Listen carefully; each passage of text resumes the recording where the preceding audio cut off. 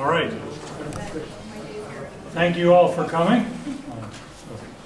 Very lively and engaged group. That's a very good thing. I think we're all interested in what our candidate for the executive director of the Water for Food Institute has to visit with us about today.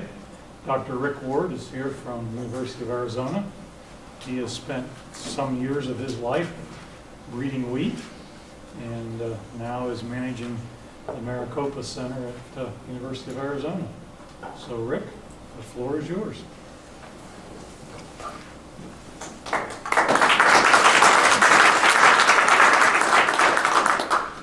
Any questions? it's not that easy. Thank you very much. Thank you all for coming. Is this okay? The sound is all right? All right. Uh, it's my honor and pleasure to be here today. I want to thank the committee, the selection committee, for giving me this opportunity. This is an exciting, this has been an exciting day, it's been an exciting uh, process. The subtitle of my talk is Phase Two, Building on Success. And I had chosen that subtitle before I came based on my research and analysis of what has taken place in the past five years. And I genuinely believe that that title is relevant and correct. Okay. So the Institute was founded on the on the basis of the crying need for more food production to reach food security without putting stress on water supplies. And I'm just grounding the, the, the, talk in this image, which I borrowed from the World Resources Institute, which shows the increase in many agriculture areas by 2025 in water stress due to growing water use and higher temperatures. Due, of course, to population growth, urbanization, economic growth, and climate change. And I guess uh, this is one of two world maps that I'll, I'll put up. Um, this is my world. It's your world too, but I have a visceral sense of it. I've flown around it several times. Uh, and you do, over time, build a, a map in your head of the places you've been. And so I know that that red area right there in South Asia, Central Asia, encompasses a very significant portion of the people on the planet. And to see it red in 10 years having the highest increase in water stress condition, um, along with major populated areas of Africa and East Asia, China, is very frightening and very uh, much evidence of need to engage, hence my interest in this institute. So my goals today are to communicate with you about my background. I want to do that in the context of those things that I've done that I think have meaning to my potential role, my candidacy for this position. Uh, I'm going to repeat a few times that one of the big uh, features of my career I want to emphasize is that I have had the great fortune to be successful at getting smart people from multiple disciplines to work together to generate solutions. My career from 1981 to, to 2015, I, I, break into three segments uh, that I'm going to present to you as two segments. and I'm going to start in the middle because this is the domestic part of my career. I spent 16 years as a wheat breeder geneticist at Michigan State University. I also was an agronomist there. We increased the productivity of wheat, so the state yields went up 25%. And this, my definition of impact is that people have a- adopted a technology and it's having a favorable impact on their lives and the economy. Whoops. But the thing I want to focus on from that 16 years was this initiative called the U.S. Wheat and Barley Scab Initiative. It was started in 1997. It was a consortium of smart people rallied around the need to solve a major disease problem that was threatening barley and wheat growers and in the industry with reduced economic returns. It's also a food safety issue. So I was one of the founders of this idea. There was not a call for proposals.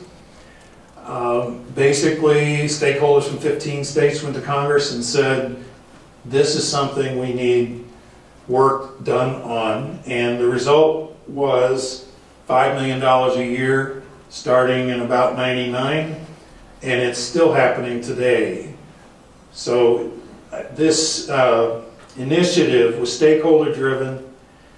As I said, the money went through ARS, USDA ARS, but my office managed an annual call for proposals, stakeholder committees, uh, steering committee, six research committees ranging from transgenesis solutions to uh, biological control and breeding in between. The total awards since 1999 at more than 15 land grants in USDA uh, is $80 million. Now, I can't, I don't claim credit for all of that, but I will say that my vision of how this could serve the United States and be of use to multiple communities uh, continues to be manifest in this. And by the way, University of Nebraska, during my tenure, received $853,000 and totally has received $1.7 million. Um, So I can say I know how to bring money to Nebraska already. All right, my time at Michigan State was flanked by 17 total years in international agriculture. I was a maize breeder, corn breeder for CIMMYT, based in Mexico and then based in Zimbabwe. If you've been to Zimbabwe and you've been to CIMMYT's research station just north of Harare, you've been to one of my successes because I built that station from scratch. Uh, I created its mission. Uh, I was sent over uh, with, this was the golden days, no budget, just go have impact. And to this day, this is the site that uh, the CGIAR uses to coordinate maize research in southern Africa, and maize is a major source of calories. I also worked for Pioneer Overseas Corporation for two years, focused on, uh, I was in the US by about two miles. And my target area in most of my work was Mexico and Central America, and interestingly, Egypt. But the part I really want to talk about is the last 10 years when I returned to CIMMYT. I, I, is the International Maize and Wheat Improvement Center. It was founded and wrapped around the work, well, it was wrapped around the work of Norman Borlaug and colleagues. And Norman Borlaug was the Nobel Peace Laureate in 1970 for his efforts in the Green Revolution, uh, which were done at the location that became CIMMYT. Uh, so in these 10 years, I worked as, I'm my own definition, national and international consortia designer and leader. Uh, and I worked for the CIMMYT Global Wheat Program, and I also worked for Cornell University in the midst of that. I was in Mexico and then Afghanistan and Pakistan. The Afghanistan-Pakistan was two and a half years. And I finished out my time with CIMMYT in Minnesota. Not to work for Minnesota, but they got an airport you can get anywhere in the world. Uh, and I had family reasons to be in, in Minnesota. Okay, so I want to emphasize two programs that I worked on that I think are relevant to my experience or my, uh, anyway, the future of the Institute. If I was lucky enough to be its director. One is the Borlaug Global Rust Initiative. So this is the same guy I just mentioned. Uh, that's Norman Borlaug. He was 92 or 3 when that picture was taken. I traveled with him to Ethiopia, Kenya, Canada, Washington, D.C. Uh, when he was 92. Um, he wouldn't let me carry his suitcase. He wouldn't let anybody carry his suitcase. Uh, and he's my he's my role model. So my plan is to work till I'm 92. Uh, I'm taking it day by day and year by year, but uh, one reason I left CIMMYT is he retired at 65 from CIMMYT. Nobody else can retire after 65. If Norm Borlaug could do it, the rest of us have to do it. And I'm too close to that number. And so I got on the market in order to position myself for the next, uh, I've got, I have 31 years left. So that's, that's, that's, if you're wondering why did I leave CIMMYT? And I left CIMMYT, that was the fourth time. I'm the only person in the world, I believe, who signs four contracts with CIMMYT. Uh, one of us might be crazy, I'm not sure. Uh, this Borlaug Global Rust Initiative thing I wanted to emphasize in this slide uh, is one that we work together, but other people on this list that you can't you can't actually see, so I'm going to point it out. This is the director of uh, International Ag Research in Canada. This is the director of CSIRO in Australia.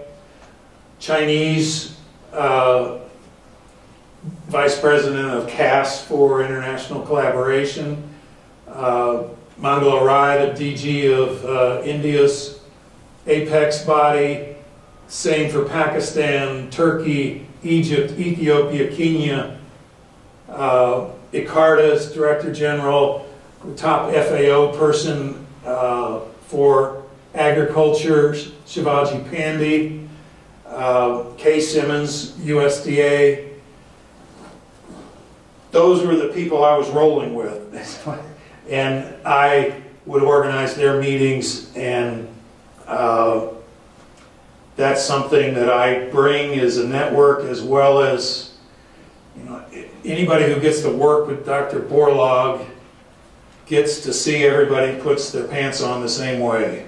And uh, so working with people of stature at the apex of national programs, um, I do so with humility, but I know I can do so with confidence. So a related project, and actually the source of funds for this, uh, Global Rust Initiative was the Durable Rust Resistance in Wheat project. Um, so the first two years uh, after I left Michigan State, I worked to, my, I went to CIMMYT to work with Dr. Borlaug and others to mobilize awareness and resources for the battle against this stem rust called UG99. And that's what the Borlaug Global Rust Initiative was about. And I worked with Kathy Kahn, a brand new program officer, who's no longer a brand new program officer, but at the Gates Foundation. And, and together with Cornell staff and people all over the world, we designed a program that includes, there's one or two extra ones here that weren't there when I was there, but, but basically uh, almost all these dots on this map were partners in this durable rust resistance in wheat DRRW project. We had 15 major partners in 13 countries. So we, we had work in China, Australia, Israel, Syria. That was an interesting, I had, I had to have two passports in order to do that. Uh, to go from Syria to Israel, and you don't do it in one flight. Um, Turkey, Ethiopia, Kenya, South Africa, Mexico, Denmark, multiple places in the United States. And this was a $9 million a year program that is in its last year now. The first year was 2008. You can do the math, uh, how many dollars that was. Uh, this, this also, this not only was global, truly global, but it also was broad in discipline. We had people working on molecular biology. We had people working on immunity of rice, the, the molecular biology of immunity of rice to rust. Interestingly, because that was an idea Dr. Borlaug had. How do you make wheat not a host of stem rust? And since rice was a non-host, it's a grass, we were investing in Australia and China and IRRI, the Philippines, uh, to investigate that. So that was one end. Another was just straight up breeding, seed production, fungicide. Uh, we had a whole component called advocacy. And that advocacy component, which I led, resulted in the FAO endorsing and accepting the notion that UG99 was a global threat to the a transboundary pest of global proportions. That meant every government, that means every government in the world today knows what UG99 is. And that, so we branded our work UG99, which was the name of this pest. After Cornell, and I left, I left Cornell because, okay, the project was working and it was going forward. Uh, I was about two degrees separated from wheat fields or other uh, agricultural settings. So uh, I wanted to get back in the action, and I did. I ended up in Afghanistan, and I'm just showing you this slide because that's me in the center there in the flak jacket. Um, this is in Helmand province. I'm told after the visit that actually that was the wrong team. That was the other guys. Uh, they didn't shoot us, so it was okay, but they grow wheat too. So in other words, these, these were uh, Taliban. We drove into Taliban country, and we didn't mean to. But my point here is that I'm not talking about doing ag, international ag from the United States and doing visits. I'm talking about being embedded being right there. So I was the country officer. I represented CIMMYT for both the, to the governments of Afghanistan and Pakistan.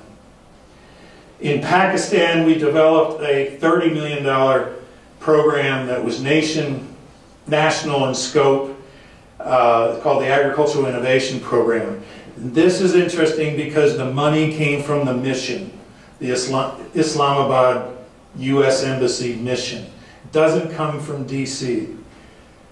So there's money to be had in the embassies of the United States and other embassies, and it's a place to look for international work.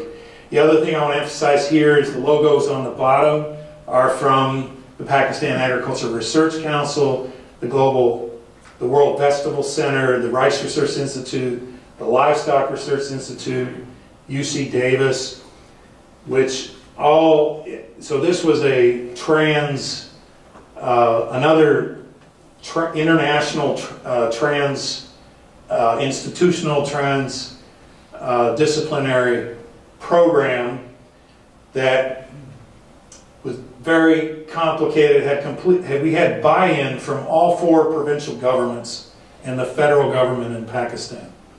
And that took about a year and a half to get. Um, okay, so there's all three those periods. Uh, of, and that's the background. And the thing I want to emphasize uh, is that I had experience in, and success in both international and domestic realms, raising money for multidisciplinary groups of, of scientists and putting it into forms that fund holders would continue to fund. So, uh, in total, in that, in the period I'm talking about, in the international period, I, I believe that I was instrumental in $102 million being mobilized. Today, I'm the director of the Maricopa Ag Center and the Bud Antle Endowed Chair.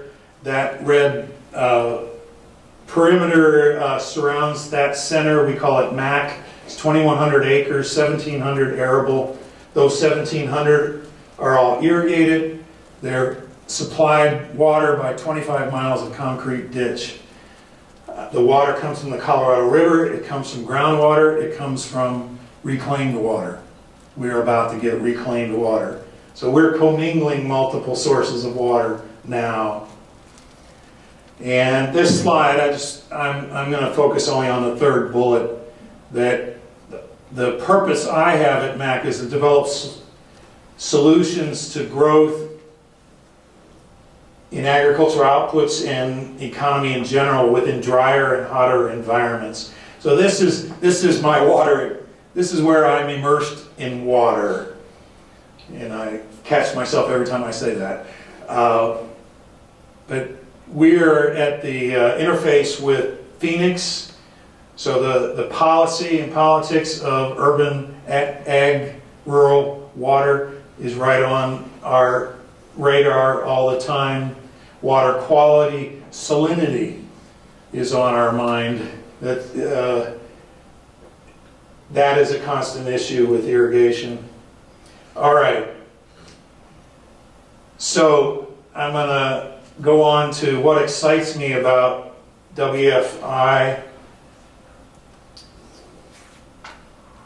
Well, first, and this is a bit of an awakening, awakening for me, because I'm an agriculturalist, as you can tell by what I've just told you. And I'm saying that in the context of one of the goals of the Institute is to close the gap between the agricultural community and the water community. And of course, that's an oxymoron to say agriculture it implies doesn't need water. Um, and now today, I'm a proponent of saying, well, actually, uh, crops and animals are just ways to convert water into food, as opposed to treating the water as if it's a non-essential input. In fact, what I've gathered is that we in the agricultural community have treated water like it's air. It's always there, it's available. Uh, and so closing that gap is valuable, but also I'm interested in impact. I've had impact in Southern Africa. Uh, I've had impact in the United States. I've had impact in Pakistan. I've had outcomes that should lead to impact uh, uh, there. And I want to continue to do that. So I was asked, why would I want to come here? Because I see an opportunity to have more impact than I could have anywhere else.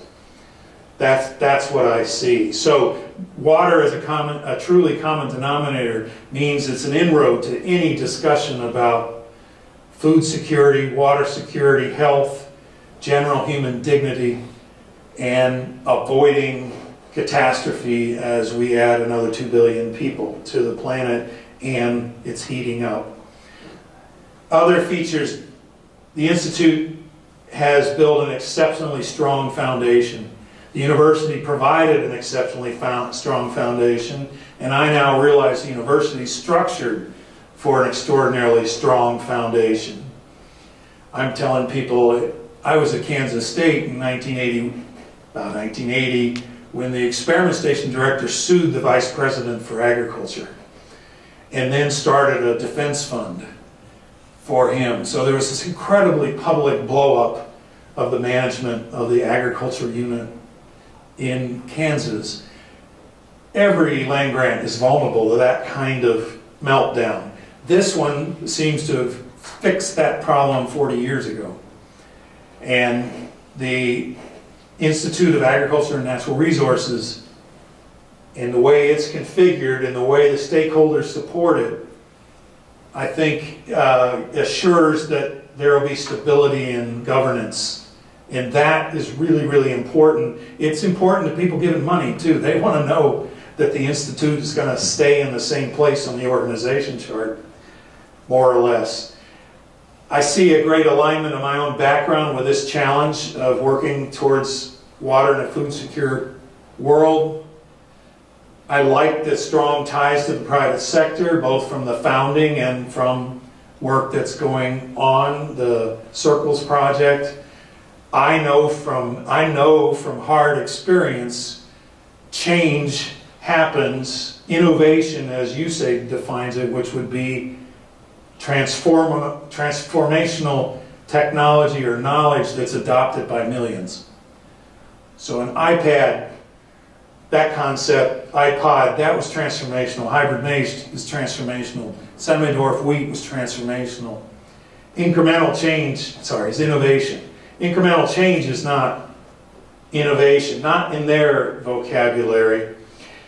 I know that the only way transformation happens is the private sector. And by the way, the farmers are the private sector. They're not the public sector. So, but I really mean the input suppliers and providers. Uh, and, and so I'm glad to see, because we're still leaving an era where the public sector, in many cases, puts itself at arm's length from the private sector and that's absurd, in my view. I like the opportunity to bridge agriculture and water communities and health, and I'll talk about that again later. So the current, and I think sound vision, is for a food and water secure world, one in which agricultural water does not threaten or put stress on water required for ecosystem services and, and other important factors in human life and health. And the subject areas, you know well, yield and water gap productivity, yield, productivity gaps, groundwater management, high productivity irrigation, and then freshwater ecosystem services and human health. So I want to review successes that I see. Uh, as I said, my title is Building on Success. The Circles Project I already mentioned in Tanzania where whole villages will, you're attempting to work under one, under uh, center pivots. Um, the Atlas, the Yield and Water Atlas, I think is, is an extraordinary partnership with, with extraordinary reach and a great platform to build upon. The fact that Wageningen and Alterra are engaged is very positive. The uh, recent Nebraska Natural Resources District report is a great output that's useful to the, to the world. The partnerships with China are good footholds into a very, very big part of the world. In education, the Master of Science dual program that's, that was developed by the Institute and UNESCO that's at Delft in the Netherlands and here, the Water Advanced Research Innovation Fellowship Program, and the progress towards enrichment of undergrad University of Nebraska curricula. Those are all good things. I put in red the Water for Food conferences, and I said to some of you today that uh, I have I can't help but when I think about the Water for Food conferences, I think, boy, this could be the Davos Global World Economic uh, Summit for water for food. Uh, You're on track to doing that. And I also think the digital presence, which includes, so I've watched many of the talks of many of those uh, conferences by going to YouTube, by going to your website and going to YouTube.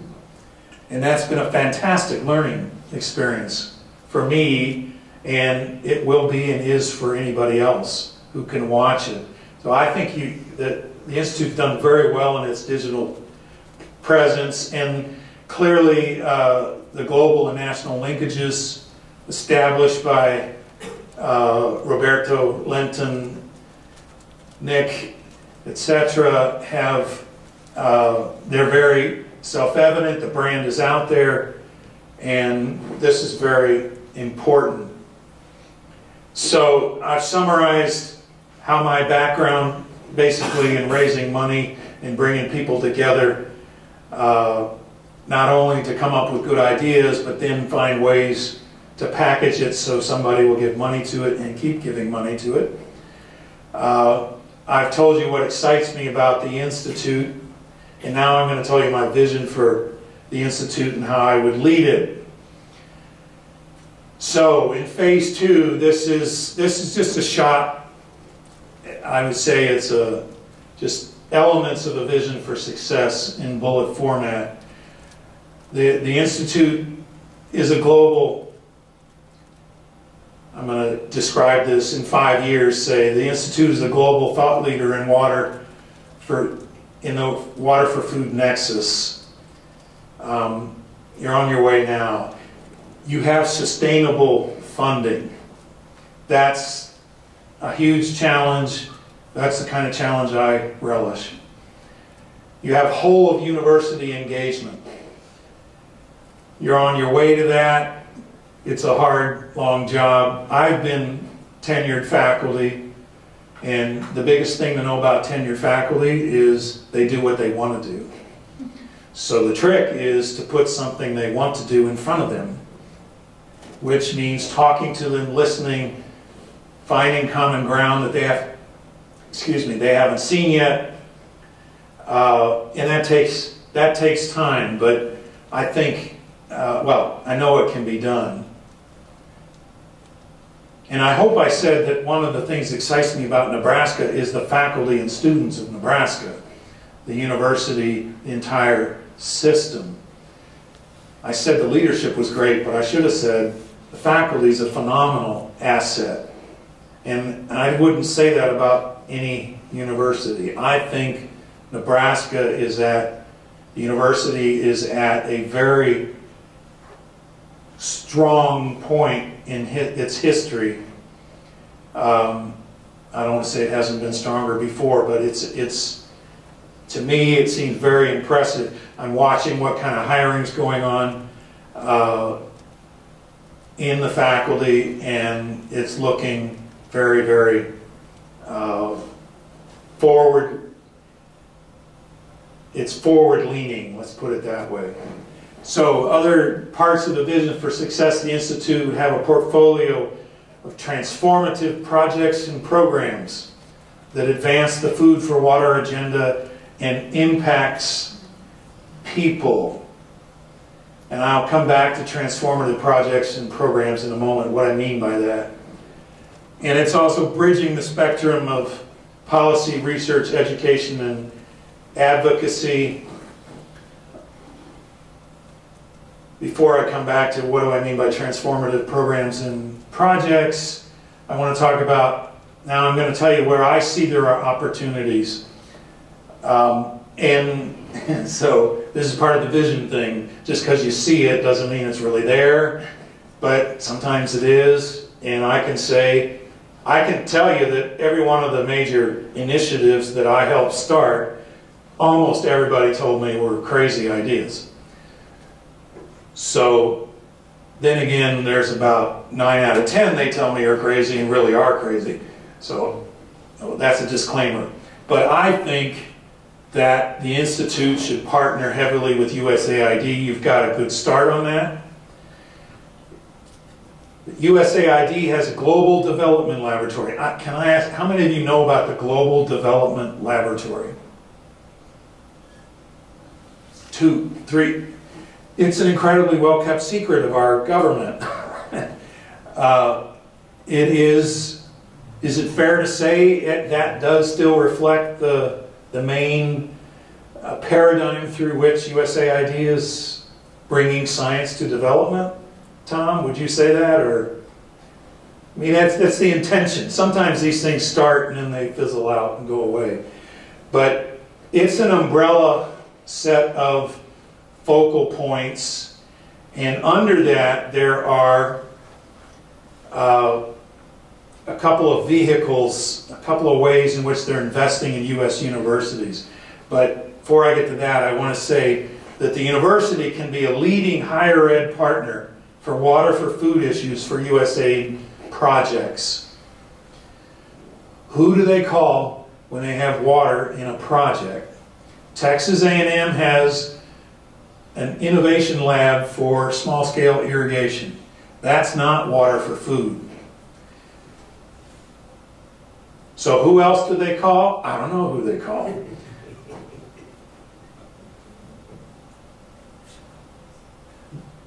I mentioned Texas, it's feed, it's a Feed the Future Innovation Lab. So I think that the initiative, the institute could create the equivalent of a Feed the Future Water for Food Innovation Lab. You're almost there now. See, the question, what I think is that should be something USAID is funding here. How do you do it? Well, you can try brute strength, and sometimes this works. If your entire congressional delegation descends on the right committee, or the administrator, or the acting administrator, you might get a, okay, it's done, you're there. And a million dollars a year is flowing, and it'll keep flowing. Um, trouble is, you ask that question that way, and they say no, you're, you're, you just closed and opened and closed the door in a hurry. So my thought is that you you create that functionality. You make you make yourself available in that way. You make the optics make it clear that's exactly what you're doing. And then it becomes an inescapable conclusion with a little nudge from appropriate corners that it gets endorsed and brought into the innovation lab uh, cluster. in Virginia, uh, Washington, Kansas has three. All there, many states have innovation labs, and they all have continued funding, and they are a replacement for what used to be called CRSPs. Like INTSORMIL was a CRSP. It used to be here. It's not here anymore. Nebraska doesn't have one right now. I think you deserve it. I think it would be to the interest of the United States for one to be here. Um, the other element, the other feature that, the other vehicle that I see USAID investing in is what's called the Higher Education Solutions Network. MIT has two higher education solution centers. Berkeley has one. Tulane has one. Maryland has one.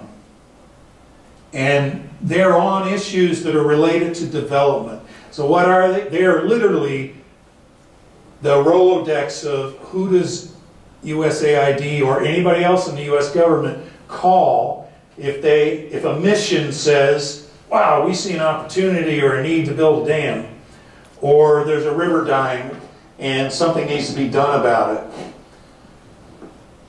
The idea is the US government has somebody to call. I just mentioned two water things. If it's, if it's uh, computer sciences, they call MIT. Um, if it's design, they call Berkeley. They don't have anybody to call for water. So there are these two networks. One is higher education solutions they might be labs, let's call them centers, and then innovation labs that are technology development groups. My guess is that after these two or three years they've existed, that people see a better way to do both of them. And the idea would be take the best of both and make that a Nebraska agency, entity, and do it through the auspices of the Water for Food Institute. By doing so, you are availing the rest of the world in our government with best advice, immediate access to expertise, not just Nebraska, but anywhere Nebraska can reach in water for food. So you want to get this on the national, if you, if we truly believe in this topic, it needs to be on the agenda of the United States of America. That, that's my sense. So that's one idea. That's sort of a big idea. The other thing is, um, let's see, uh, $35 million of money I mobilized in Pakistan all came from the mission. I mentioned this.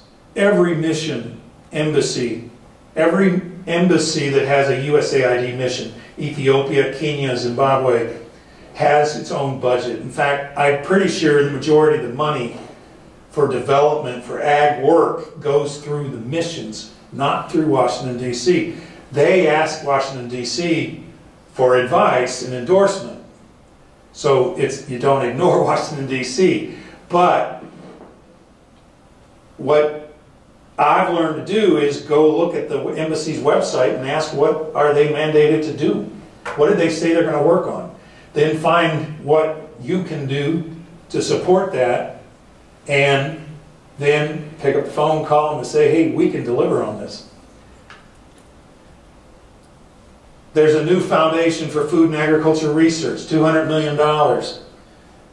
Appropriated by Congress, USDA manages it somehow, but it's not USDA. I think it seeks one-for-one matches, or eventually it will, with industry relate, well, non-federal funding. So I could imagine an irrigation technology, and this is for the United States, not for develop, not for overseas. So I could imagine a, a, an industry, uh, the irrigation industry, partnering with the institute on behalf of the faculty for Foundation for Food and Agricultural Research. The National Academy of Science has a program called Partnerships for Enhanced Engagement and Research. PEER, it's funded by USAID. As far as I can see, there's one of these grants at Nebraska. When I went to the five years of grants they've issued, and they're substantial, not millions, but they're still substantial, um, I searched for the word water and I found it 60 times on the page. Now, that might just mean just 30 projects um, because somebody's affiliation might have had water and the title had water. But there are at least 30 projects out of 80 or 120 were related to water. So can the Institute help the faculty access those grants? I'm not, there's only so many ways to split the, the content expertise like Nick to be PIs. I think the Institute's role is to mobilize and facilitate the faculty as a whole. And that's where you get their eyes opening that, hey, you're adding value to what I want. Expanded private foundation engagement, uh, traditional projects log frames, timelines, budgets.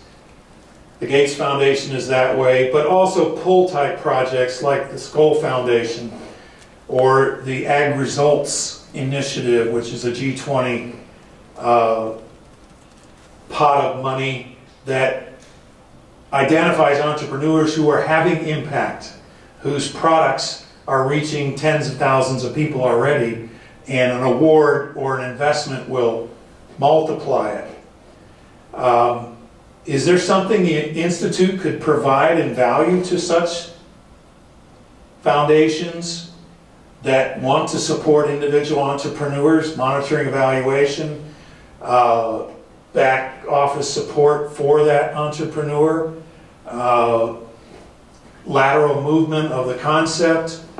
I think it's possible. And expanded NGOs with NGOs that are successfully scaling out to over 10,000 farms. I'm just saying, uh, no, you're not a development agency, you never will be. But there are development agencies out there that could benefit from a direct tie to a land grant university in the United States focused on water for food. Other opportunities, uh, I think catalyzing enrichment of K to 12 and higher ed on the job learning opportunities for Nebraska and the rest of the world is valuable. Strengthen socioeconomic and related subject expertise. Uh, after today, I'd say maybe that one wasn't relevant. Partner with key international professional societies for expanded global networking. This came across when I was applying for a grant. Um, they wanted to create a network for in ag engineers developing uh, appropriate scale technology.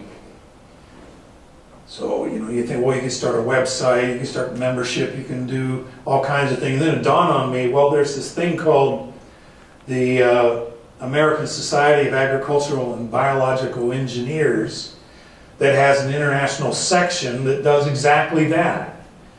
So why not partner with such institutions, such societies who already are spending money embracing the idea of bringing more people into the tent.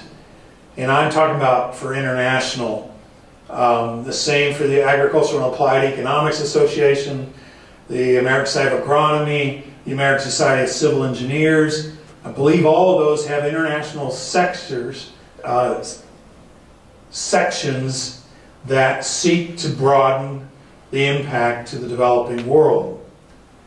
CGIAR programs are opportunities, not enough of them have water in it. IWMI, you already have a relationship with.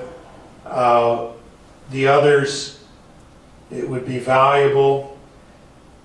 Creating an out-facing web presence that enables potential collaborators, funders, beneficiaries to easily understand who you are and what you provide.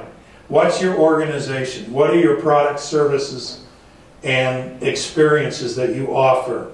What types of outputs can be delivered? And fostering open data practices that facilitate interoperability. That applies to about any, any arena today.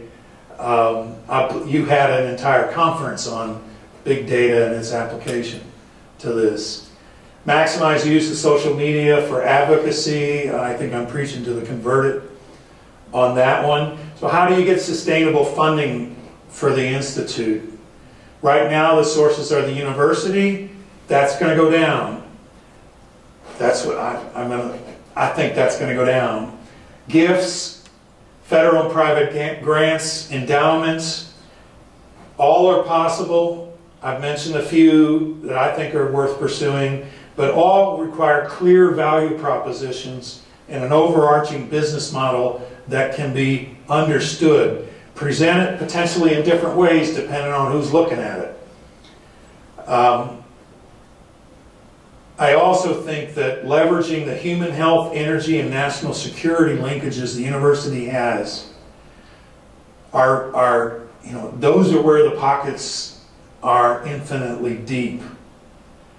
And I have to tell you, I, I'm, I'm having to force myself to say this. If I stood in front of an audience in Arizona and said, I better stop, this is being recorded. Never mind.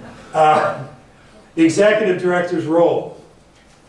So I want to tell you what, what I think, uh, what I imagine the role sh- could be, should be, what I might like if I was so blessed. Foster a collaborative environment that embraces diversity to build effective teams. And I, I imagine a rolling portfolio of teams addressing a rolling portfolio of programs and uh, projects. So a more, a flatter structure, which you already have. Um, I like to lead with vision. I get vision by listening to people. Uh, I think anybody does. It doesn't just pop out of nowhere. Like to encourage integrators. I think I'm an integrator. That's what I want to be. I think that's vital to bringing disparate groups together. Uh, I mean, that's, that's what that means. And increasing total influence. And I, I need to say that those last two come from the book Six Simple Rules from Boston Consulting Group.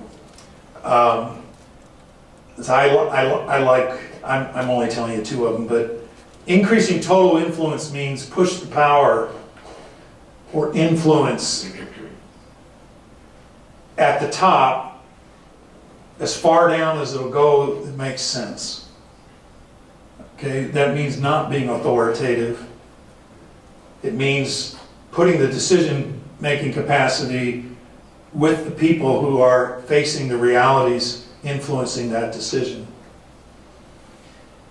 I like to manage, see the resources of WFI manage to sustain and grow the University of Nebraska's input as an agent of change in the Water for Food Nexus and catalyze and support transformative partnerships and programs.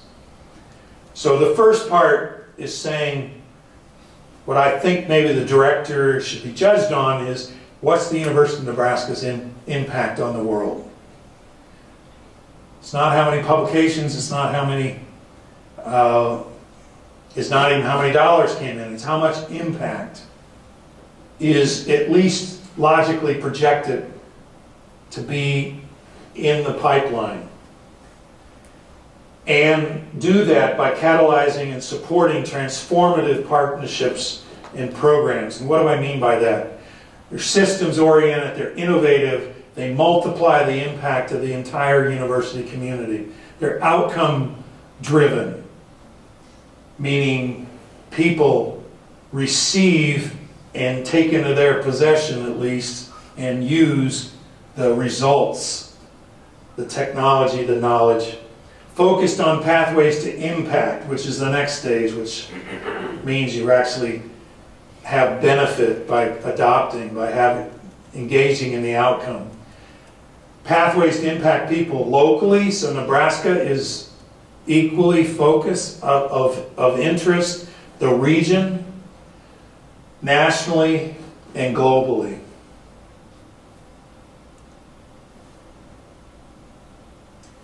So I'm, I'm going to go fast because I'm running out of time. Uh, I also like the book Blue Ocean Strategy. And I like their logic. And their, their, their logic is create uncontested market space. A red ocean is where sharks are eating each other. A blue ocean is where there's no competition. A Water for Food Institute endorsed by USAID, known to the entire world, has no competition. And to keep it that way, you need to keep adapting and adding value to the changing innovation landscape. That's outward looking.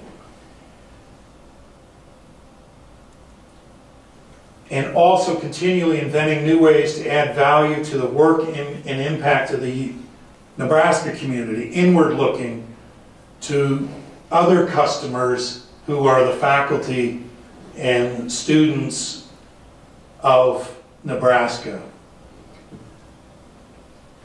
So in summary, I'm going to read this quote. You can read it too, but Robert B. Daugherty envisioned this institute as a place where the best minds come together to find solutions that will improve the quality of life for people around the world through strategic and responsible use of water.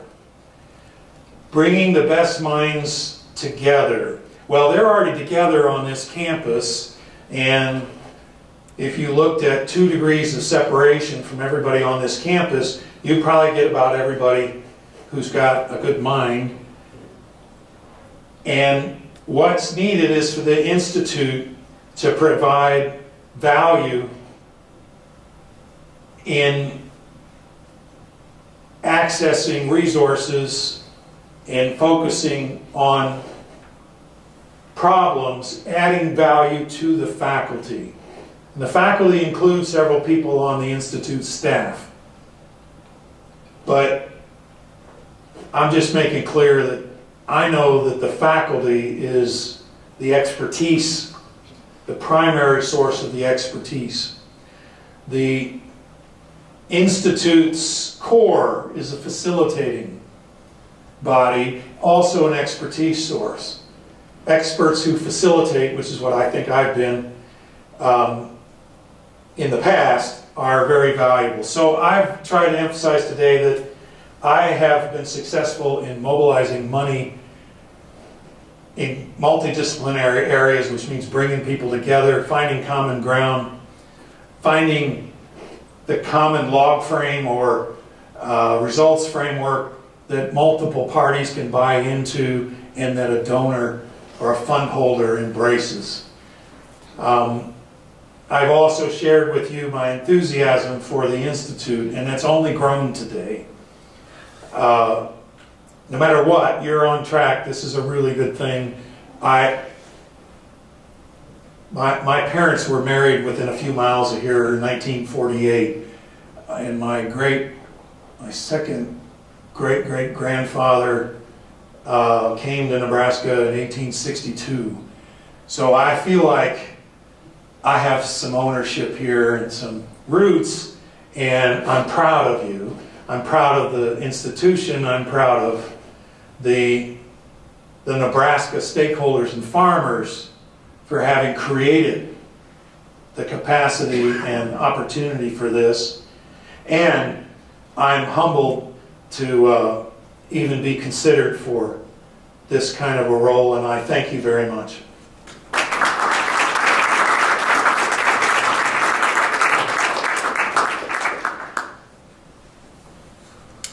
Thank you, Rick. So now it's your turn. Do you have questions for Rick? Francisco? Thanks for, for your talk. I really enjoyed it. My question, let's if I can make it the, some simple. How we transition from research into action? And how the Daugherty Water for Food Institute, or what kind of role will the Daugherty for Food Institute be playing in enhancing this transition and enhancing our understanding of this nexus flow. Okay, so how to transition research into products, into action, impacts, and what's the role of the Institute in doing that?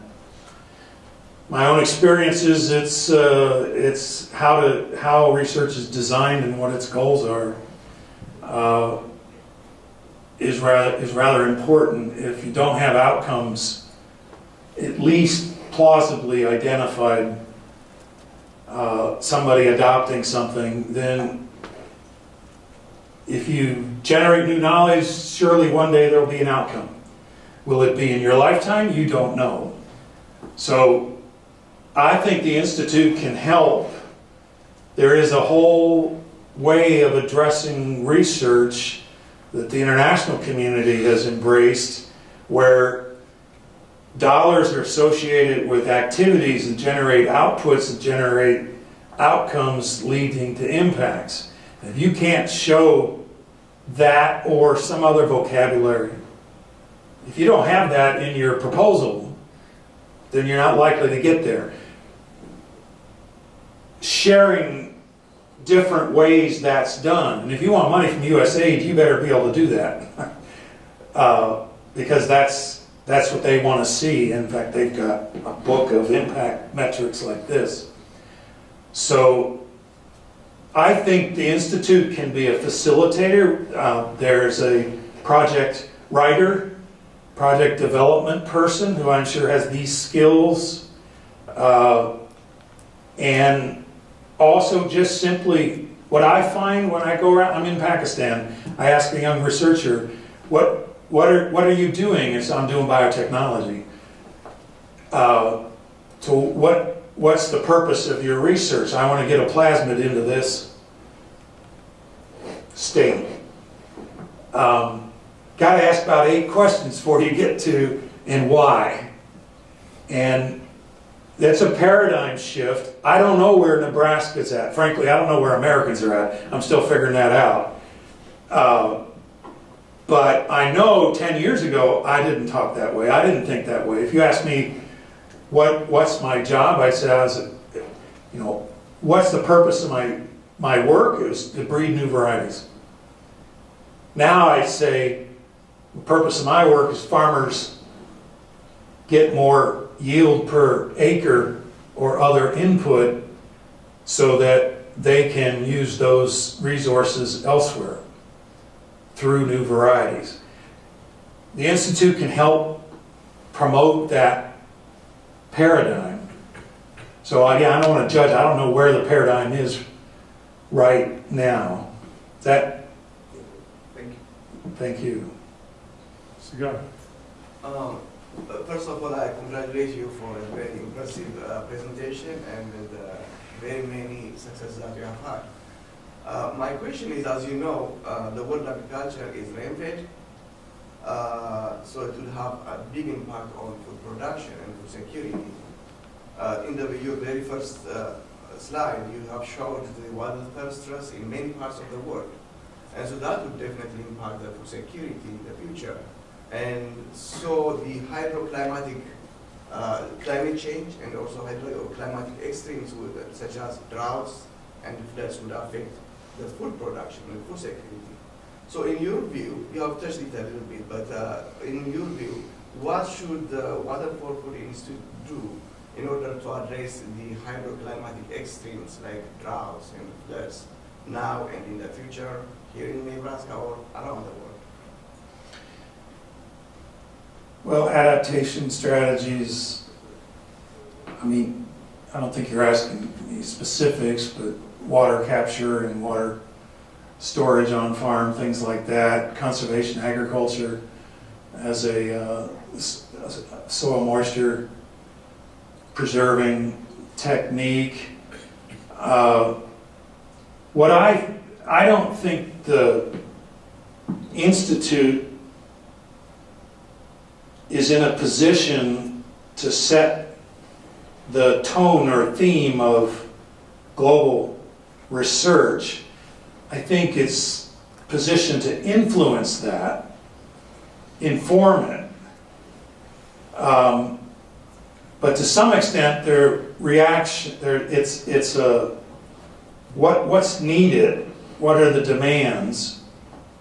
Uh, so, well, here's, here's what I want to say is that, that the Institute, it seems to me, should be agile, have enough agility, which means there's enough flexibility in budget to respond to any rational and impactful suggestion. So if the governments of a country or a mission in a country uh, believe that water harvesting is an important investment, uh, even if it's not something anybody's working on right now, I'd like, I'd like to see that the, the WFI is one of the places that gets called. What would you do? And have the institute have the agility to see, well, what could be mobilized, ask. I mean, how do you know what everybody's doing on the campus at any one time? That's pretty hard.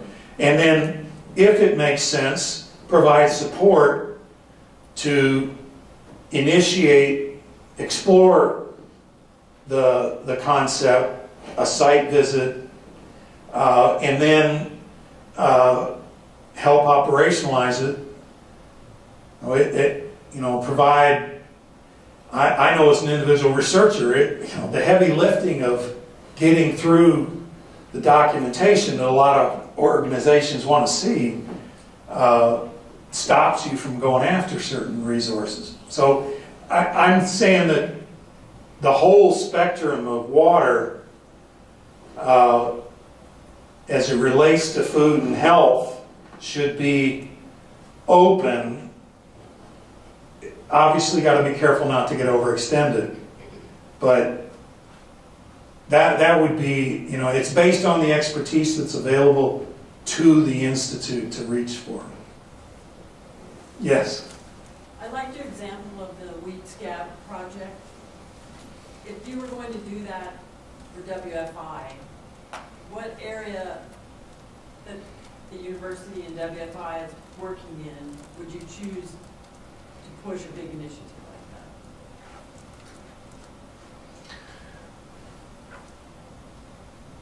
that? Okay, so what, yeah, yeah, Then what, like what partners, you know, well, irrigation. Sprinkler, lateral, overhead irrigation. Um, High pro- productivity irrigation, the, the yield gap, um, yield and water productivity gap already has some significant partnerships. That's the one that has the broadest international reach right now. And, and it is right on a vital issue. So I'm not sure the SCAB initiative was a problem in the face of industry uh, right here. well, I'm trying to get more, aside from the international stuff.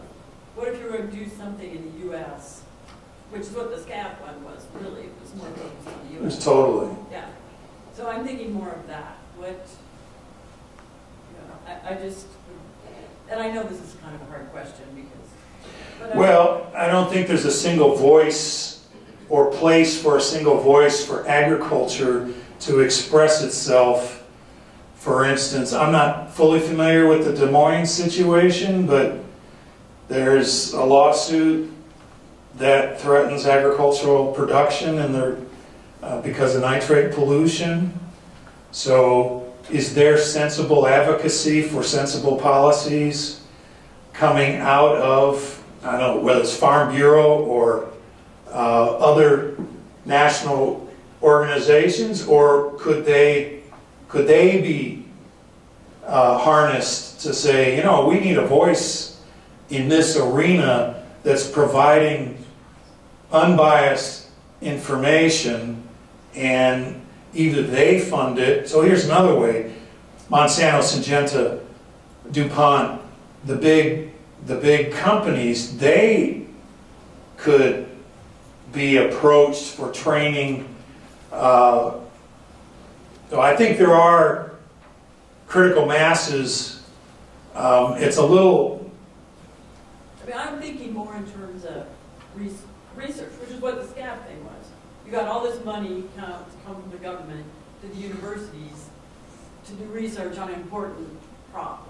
And I think that's one of the things we need to do with DWFI is find, find a project like that where we can partner nationally and well, use our strengths. Okay, but that was a push. So that, that was, you know, you do tricks like, um, you're, you, you, you have the, the most important constituent in a district call the office in Congress 10 minutes before you walk in. And they say the same thing you say. And suddenly it's on the radar of that representative of Congress. Um, but how to partner with neighboring states. NIFA is announcing their uh, challenge grant awards right now. Um, I, I don't know who is receiving those, but if the Institute can help in a, in a hub way, if you stand up and say, hey, we're going to lead this, you'll probably lose all your colleagues in a hurry. But if you, if you say, hey, we like to help make sure this happens. We don't care who gets it. As long as Nebraska people are involved, we we're justified in pursuing it. So I, in the INFEWS program, NSF USDA, that's a lot of money coming. And partnerships across water basins, um, across ecologies or aquifers, I think make a lot of sense. So I, I'm, that's probably where I should have gone. There's a lot of ways to reach to neighbors who don't have the lifting power or the concentration.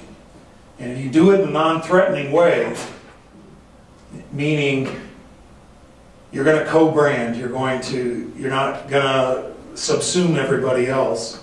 Now, I, I find most people are willing to partner when they see sense. Yeah, I just think it'd be great if we could identify the area, the, the research, the theme or the topic that could bring everybody together. I, I agree, I think that's a, primarily a function though, so, okay, influence what is being funded by the federal government or conservation agencies or, or, you know, uh, other institute, other fund holders. But within the given year, make sure you're aware of and responding in time to every opportunity that exists. So I would see the portfolio would probably be at least 50 to 75% competitive grants that the Institute doesn't get, individual faculty get, but the Institute plays a role and can co-brand because it's adding value to it. Okay, Sorry. one more question and then we'll retire to the reception out in the foyer where you'll have an opportunity to talk one-on-one with Rick. Any other questions? We exhausted it. All right, let's give him a hand.